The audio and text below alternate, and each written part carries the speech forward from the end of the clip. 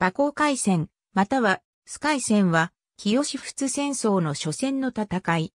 フランス海軍のアメデクールベ提督率いる、フランス極東艦隊が、清朝の福建水師と復讐先制局を壊滅させた。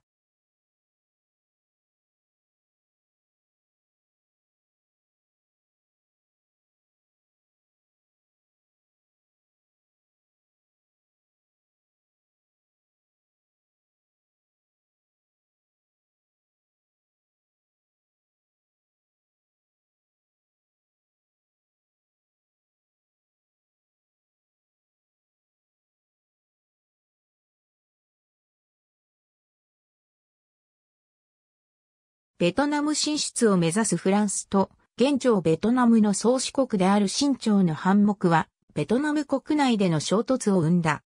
だが、清朝の戦果は芳しくなかったため、この事態を何とか収めようとした、清朝恩恵派の李光省は1884年5月11日に、新国軍の撤退、トンキン分割、貿易路の確定などを取り決めた、天津停戦協定を締結した。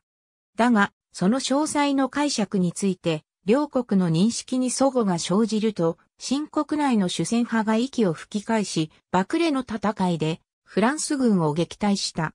すると、今度は、フランス国内で、海戦論が高まり、1884年7月12日に、フランス艦隊8隻を、復讐沖の羅西島に停泊させて、ビ港の封鎖を行った。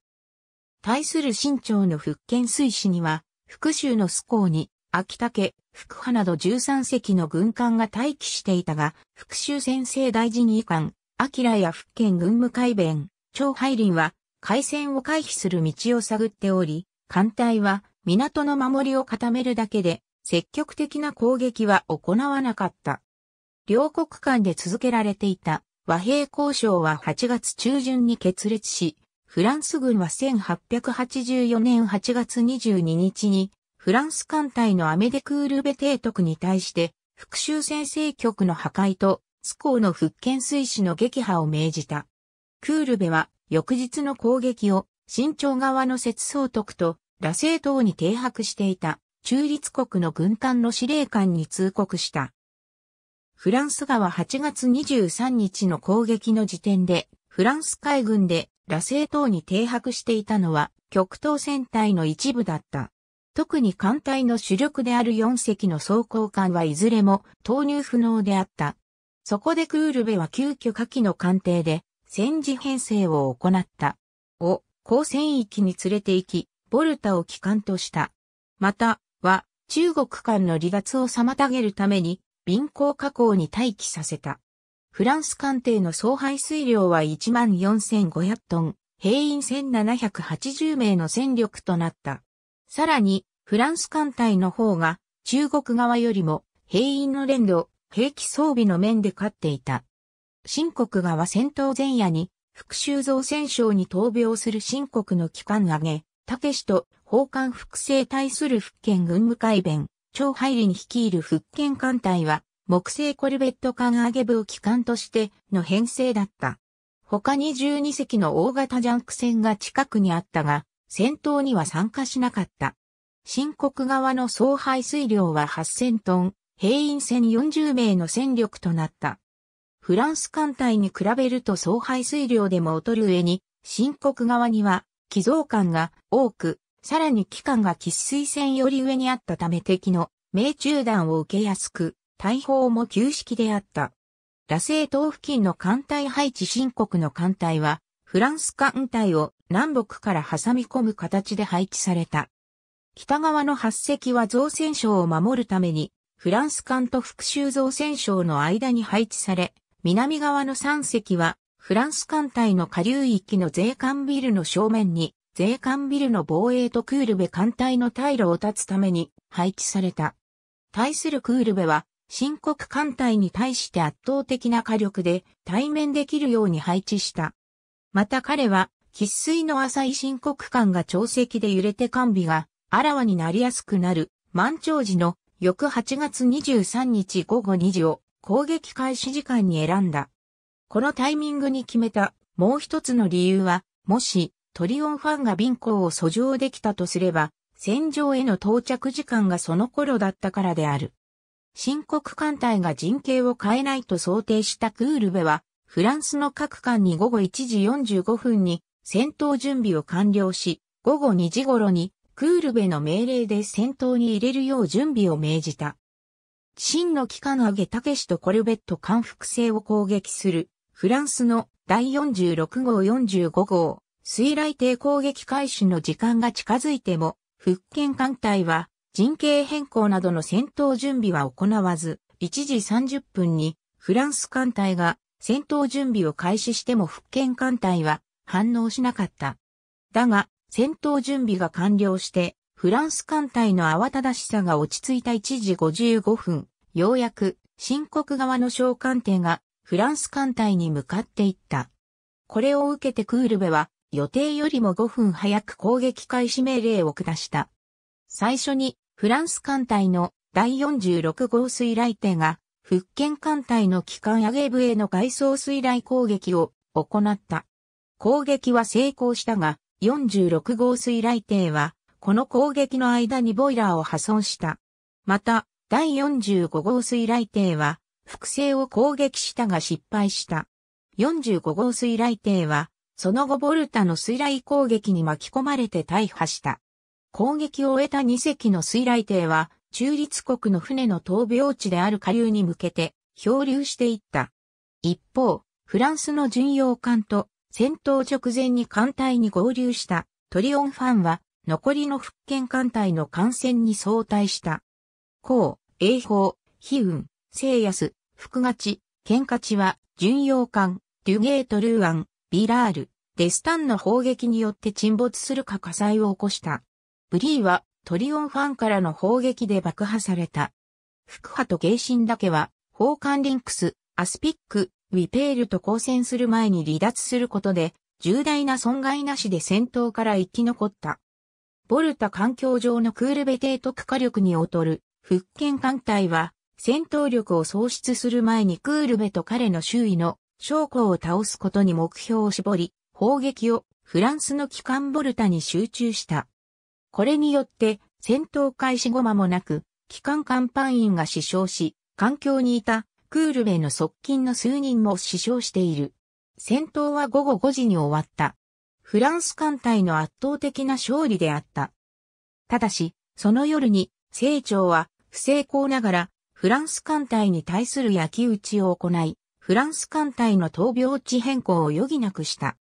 復讐造戦省への砲撃8月24日朝、クールベは、復讐造戦省の破壊のために、海軍機関艦を上陸させようとした。だが、新朝側がドックの周辺に不評を配置して防備を固めていることを知ると、砲撃による破壊に方針変更した。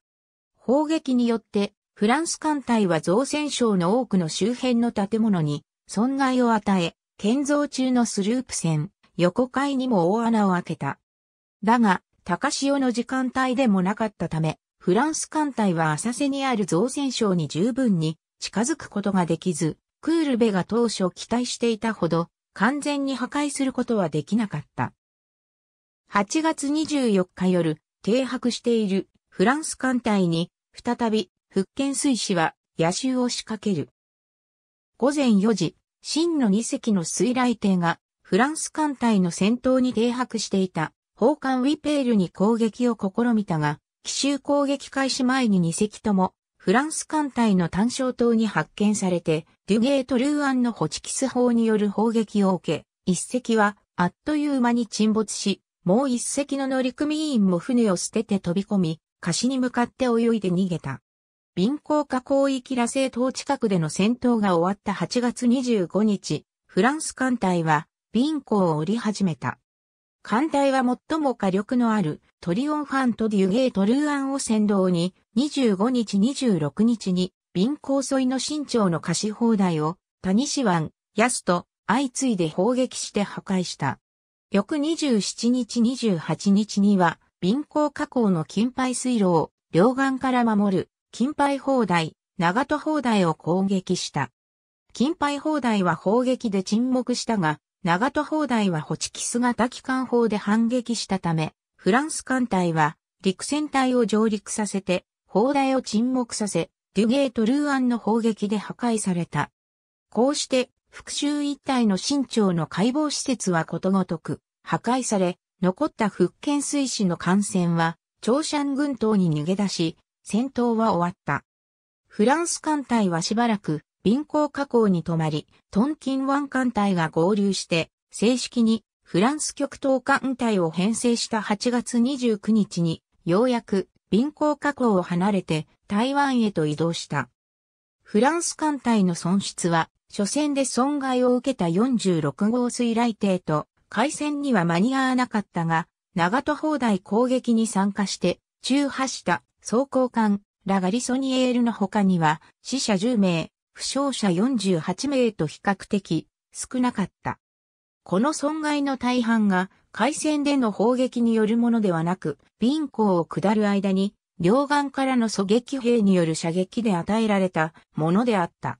福建水師の機関上げ部の遭難それに対して、福建水師は11隻の艦船のうち9隻を失った。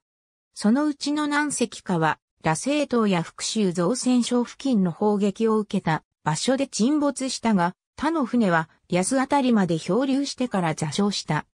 臨港河口に待機していた巡洋艦シャトールノーの将校は8月23日の夕方に戦場火災を起こして乗組員に捨てられた3隻の新朝の軍艦が臨港を漂流してきたのを目撃している。クールベは新朝側の死者を2000から3000名と見積もっている。